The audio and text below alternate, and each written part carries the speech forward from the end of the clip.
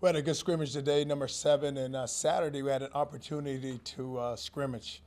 And uh, during that time, it was uh, situations where we put the ball on the minus 20 yard line and we drove the football and just gave the offense and the defense a, a chance to just run around and, and, guys go make plays.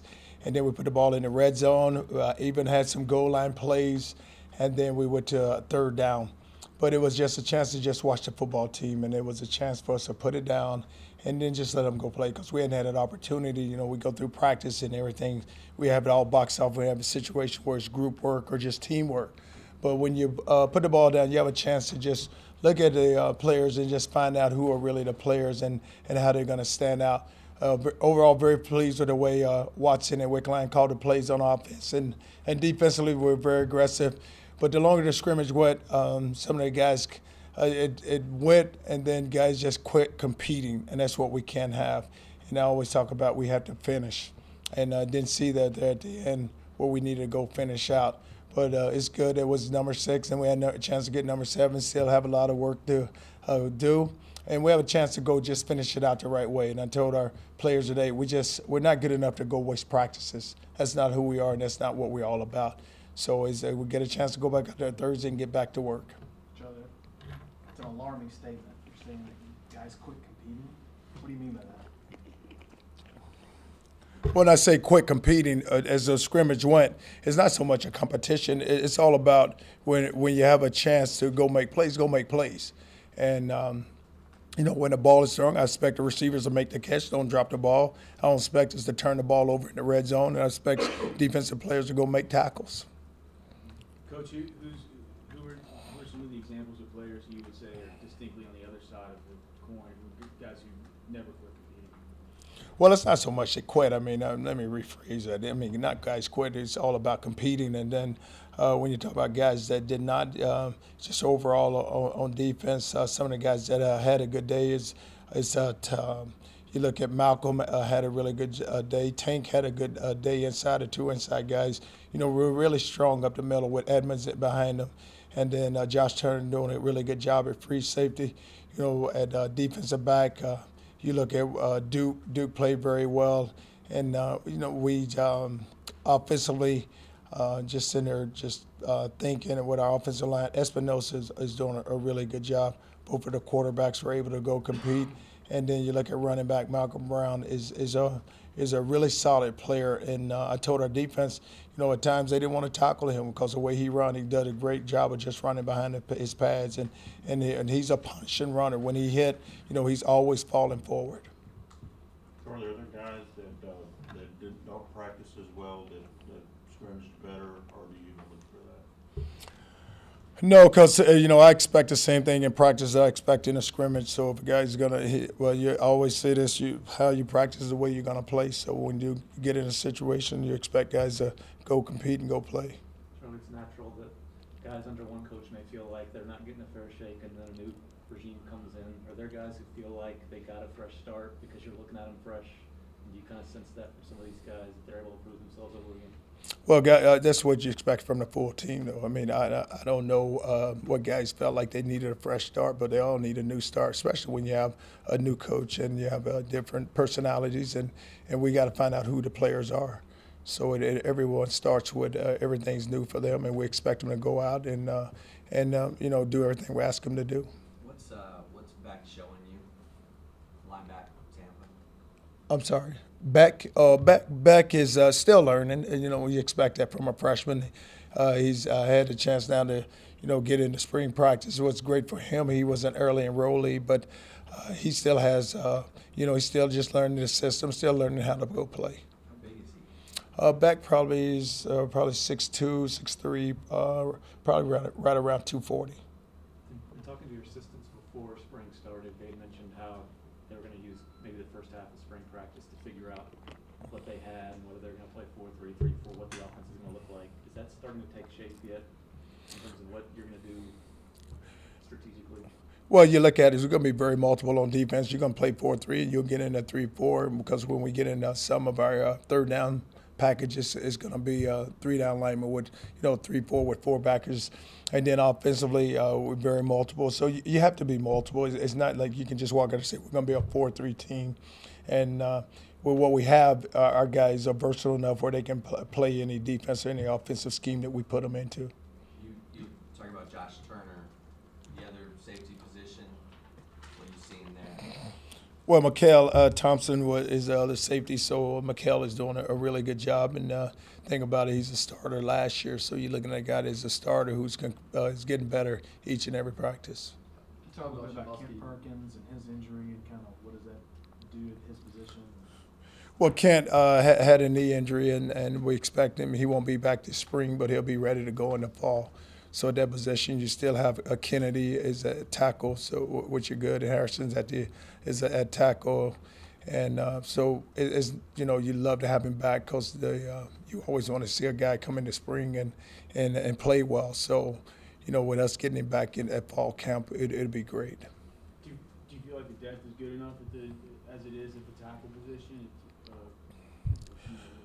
Yeah, because when you look at it, you, you always like to be better, and um, you try to find where you go in uh, with seven or eight linemen. And right now, we're just still trying to put it all together. And, and with us uh, losing Perk, you know that does hurt us because it was he was doing so well up until you know he goes down with the injury. But you know now it gives us a chance to uh, look at the uh, young guys and uh, uh, with you know Darius James and watch them go uh, compete and uh, and uh, making sure that they get enough reps. Darius James was somebody who they, s- who s- some people had said last year that kind of needed, needed to really flip, kind of flip the switch. Are, are, are you seeing that happen with him? Well, I don't know how much of a switch he need to flip, but you know he needs. Uh, we know, like I said earlier, with with every guy, it's it's all about us. Uh, them trying to, they're doing everything we ask them to do, and that's what he's doing right now. You've said, Charlie, a couple- you said several times you need to find out who the players are. How many players do you have right now? Well, I mean, we're number seven in practice, so it's still. I got. I still have some practices left where I'm gonna really know who they are. Do you, do you know, do you see guys know that, that, hey, that guy's a player, that guy's a player? Well, you- you're always gonna have that because you have enough talent. But do you have a sense, you gotta have a sense that you say, hey, we could be, be pretty good at our own guy, you know, we're not, you know, hey, we gotta get going now. Well, you know, you, you expect to be good because of where you are. And we've recruited well enough here with the last staff where you have enough good players now as, as, a coaching staff to get them out there and, and find where they best uh, would fit our system and put them in that position. Charlie, a few talented guys on defense last year redshirted with, you know, Naashon Hughes, uh, Antwuan Davis, and Chevoski Collins. What are, you- what are you kind of seeing from, from those guys at this point in the spring? Well, all of them are getting reps right now. Uh, and what, what what happens is, um, you know, with everyone got those guys, you know, with us being new, we're trying to uh, find out just how good they are and just put them in the right place.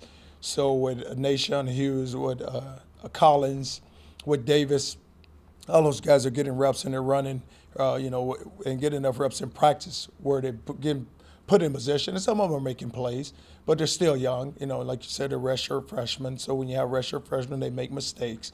But uh, it's all about us continuing to make sure that you know they are put out there and they put in position and they can do, what we ask them to do. And but when you're you're young, you're gonna make mistakes because that's the first time you really lined up. So you know, and and the terminology is new to them with the system that we are implementing. You know, a lot of things are different from them. So it's uh, what we try to do, and, and what we're doing is that, you know, we're not just taking our whole system and just giving it just giving it right to them. We kind of just each and every day giving them something so that you can always find out, you know, with your concepts, where you continue to build each and every day with your concepts where you know one day it may be a cover three fire zone, the next day it may be a cover two fire zone, but they had to understand the big picture. Last year at Louisville, you guys had a, a decent number of situational players, guys that you would kind of rotate through, say pass rushers on third down. Does that make it easier for a guy like a Naashon Hughes or Chevoski Collins to maybe play a little bit earlier than they normally would because you can say, hey, you're really good at this one thing, we're gonna go out and ask you to do this one thing on Saturdays, before they have sort of the whole package as a football player.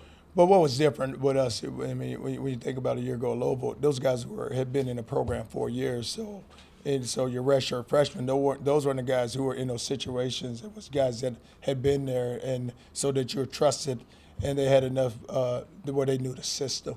So when we get to that point, we'll be able to rotate and put guys in position and put the whole puzzle together because it's still piece by piece, and you're still trying to put it all together. So you're trying to find, like we talked about in situations, you're trying to find out like really exactly what player is going to better fit that uh, situation for you. Is Charlie, anyone what do you s- flashing at, at linebacker?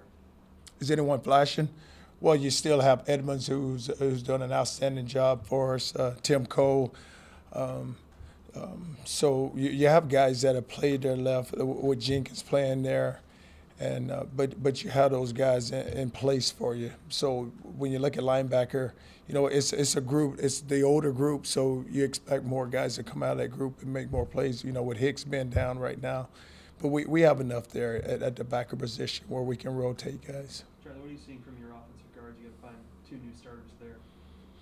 Well, with the guard, you know, with the whole offensive line play, it, you know, it's it's five guys, and when you have a center like Espinosa who sits there in the middle for you, you know, he's a guy who can make the checks for you and make the calls. So, you know, at, at the guard position, uh, guys are rotating, and, and we're still, you know, we're, finding guys where we're putting guys in place, but still, though, we have to get better. You know, with Perkins going down, it kind of hurt us because there was a guy who you could have looked at inside that guard with Harrison and Kennedy being outside. Coach, when, when guys aren't competing like you want to see them competing, what, what do you go do? Do you go say something to that guy right then, or how do you handle it? I stopped practice and we started over.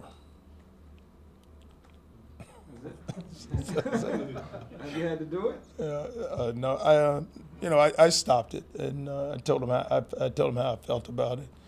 And so uh, today we kind of stopped and uh, we were stretching. So we, we, uh, I stopped stretch. I sent them back to the gate. Told them come back in with a different attitude.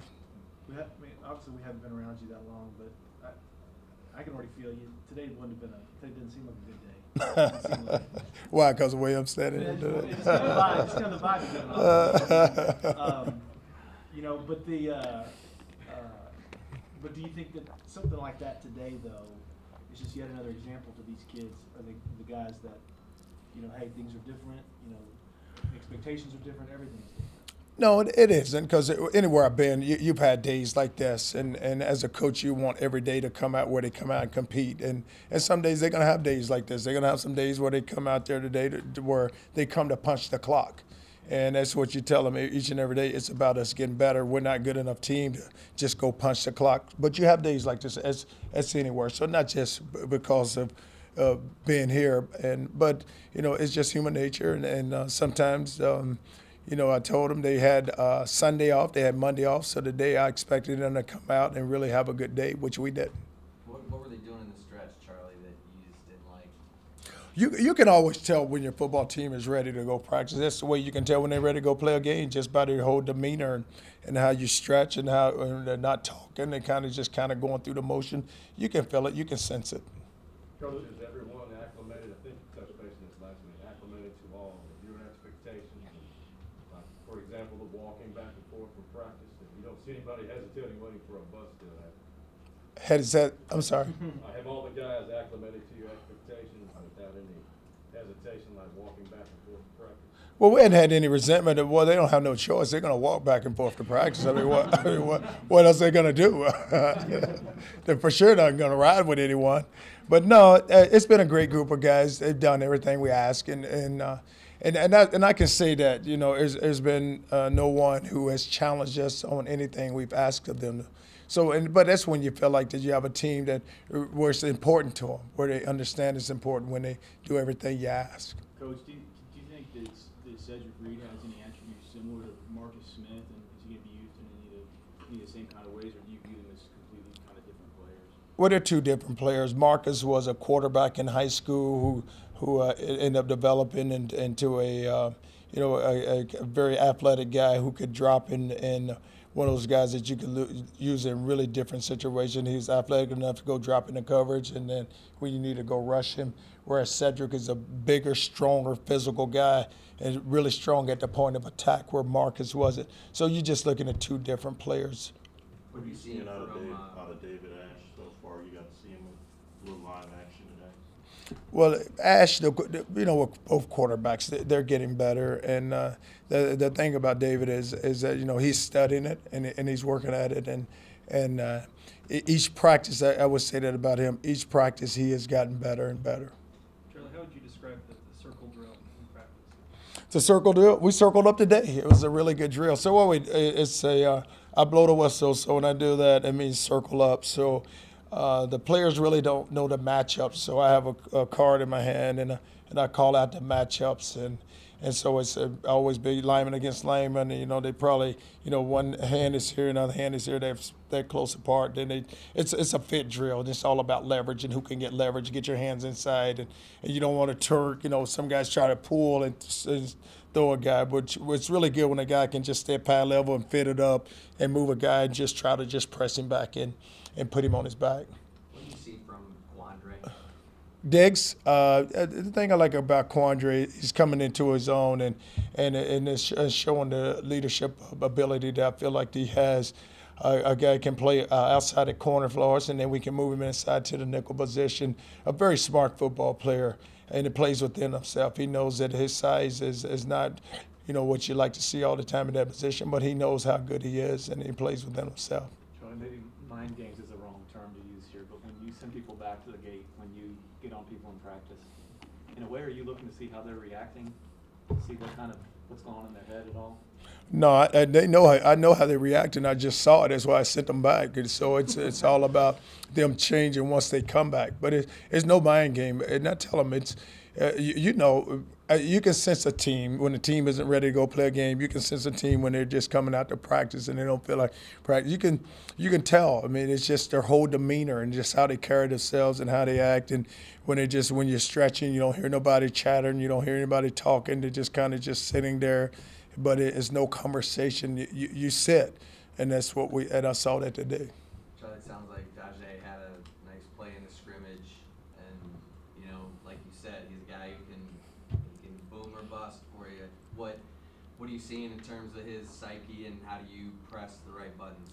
Well, the, the thing about uh, uh, DJ, you know what? He has so much ability, and and he's gonna make the catches, and and he has enough speed where he can run away from people. But it's all about ball security and just holding on to the football once you do make that big play, and and. Uh, but I, I tell you what, the, the thing it does though, when he does fumble or when he uh, drops a ball, it, it means something to him because you, you have to really go talk to him to get him to get back. Cause, uh, but I, I tell him all the time, you just have to have a sharp memory, just like playing a defensive back. You need a sharp memory. You give up a big throw, you need to be able to bounce back.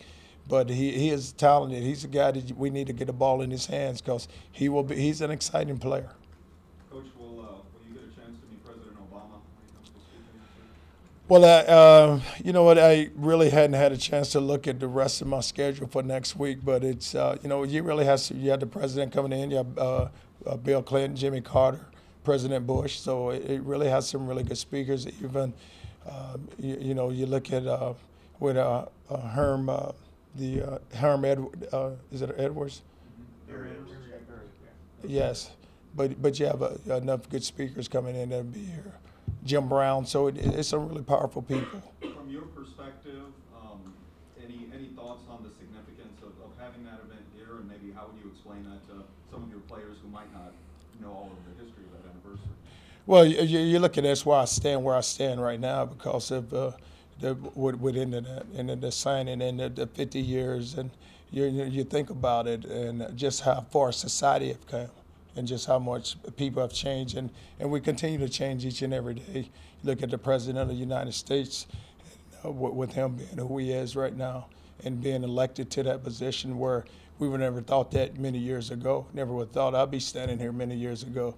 But there's a lot of people that have poured a lot of work into it, and then now you see the change, and it will continue to change. We know we still have a ways to go, but you know when you see justice and you see good things happen, then you know you know that there there are many people that's really important too.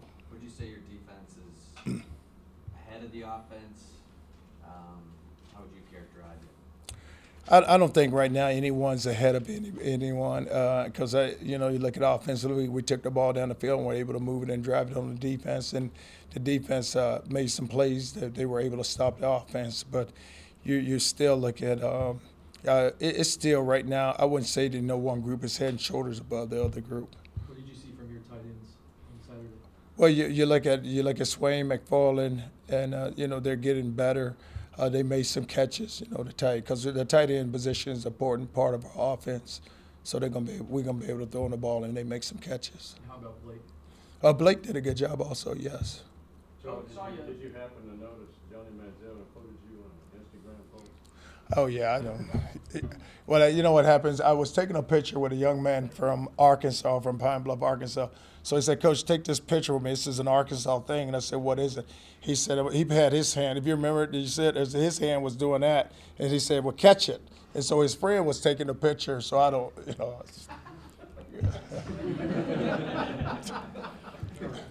Coach saw you uh, leave late night Saturday night. How many hours are you I don't know. I, late night Saturday. I, it was after the basketball game, wasn't it, or at the swim meet? but yes, but um, I don't ever think about the hours. I just put in the amount of time I need to put in at the end of the day to get it all done. So it, it's not the hours, because I, I get enough sleep. It's all about us making sure that you know. And I tell our coaching staff all the time, you don't have to sit here because I'm here. If you need to go, you can go. Uh, because I'm gonna sit here and do what I need to finish getting uh, done. Along those lines, do you feel ahead, behind, kind of right on track where you want to be right now? You're Well, it- April first. Well, you like to say you're right on track of where you need to be, and you still have practices left to go, and, and which is good. The personality of this team, Charlie, you see it coming together, is it light years away, how would you describe it? Well, it isn't like years away. It's it's still about leadership, and it's still about the seniors providing the leadership and and the personalities there. We just got to be able to just get it all to gel and get them all to come together. Big 12 uh, schools start their spring games this week, Coach. Uh, these Baylor and TCU, do, do, do you and your staff even think about seeing those games and checking them out to get an idea of, uh, you know, like Baylor, they're they got the title belt around their waist. No, you don't worry about those teams because we have so many issues here right now. I can only, you know, I can only worry about my team. It's, it's spring ball, so I, I can only, you know, hope that I can continue to get fundamentals and technique and improve each and every day.